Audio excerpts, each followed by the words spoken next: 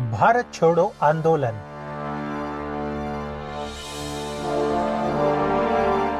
महात्मा गांधी द्वारा भारत छोड़ो आंदोलन 1942 में द्वितीय विश्व युद्ध में लड़ने के लिए भारतीय सैनिकों को भेजने के विरोध में शुरू किया गया था और अंग्रेज़ों से भारत की तत्काल स्वतंत्रता की मांग की थी। भारत छोड़ो आंदोलन को समर्थन मिला जब कांग्रेस और अंग्रेज़ों के बीच बातचीत विफल हो गई थी। भारतीयों से एक स्वतंत्र राष्ट्र के रूप में कार्य करने और अंग्रेज़ों के आदेशों का पालन न करने का आग्रह किया गया। गांधी और अन्य वरिष्ठ कांग्रेस नेताओं को जेल में डाला गया था।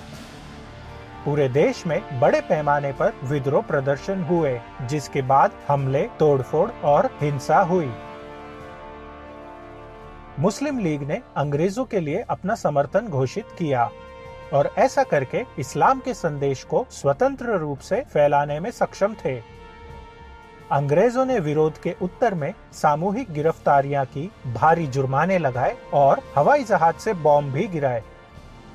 विद्रोही आंदोलन ने स्वतंत्रता हासिल करने के लिए हिंसा का सहारा लिया था, जो अब गांधी के अहिंसा के सिद्धांतों के खिलाफ काम कर रहा था। इस वजह से आंदोलन नेतृत्वहीन हो चुका था और अगले साल तक खत्म हो गया।